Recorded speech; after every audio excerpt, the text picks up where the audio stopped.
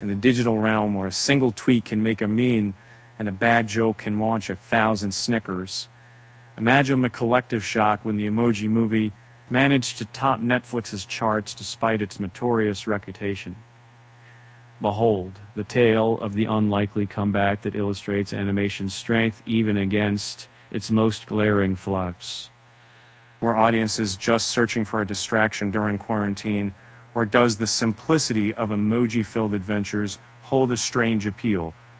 Could it be that, in a world obsessed with and wind and quick fixes, nostalgia is bought with jumbo sized packets of emoji love?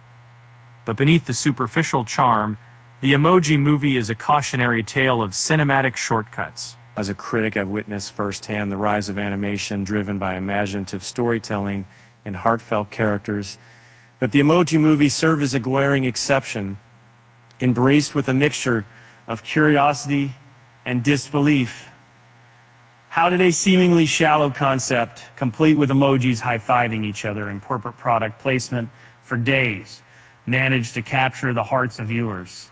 And inside the digital universe of the film, Gene's quest for self-acceptance echoes with an alarming lack of depth. The movie's attempt at profundity comes off as insincere, as a spoon. It's spoon feeding lessons to a generation that can parse emojis with more subtlety than that. And yet, it plays like a catchy jingle to Sun, proving that formulas can more stop than work, can sell over summer nights. It's saying it's something that ends up that. Uh, but let's not burst the bubble entirely. The rise of the emoji movie on Netflix is testament to the enduring popularity of children's entertainment. It's a reminder that despite critics bashing it, there's a hunger for accessible stories that can provide a momentarily sweet escape. And who are we to deny children a well meaning laugh or two? So, this leads us to a friendly request. If you're a subscriber to our channel, hit that like button for more insights like this. After all, there's a difference between acknowledging a quirky hit and supporting quality content.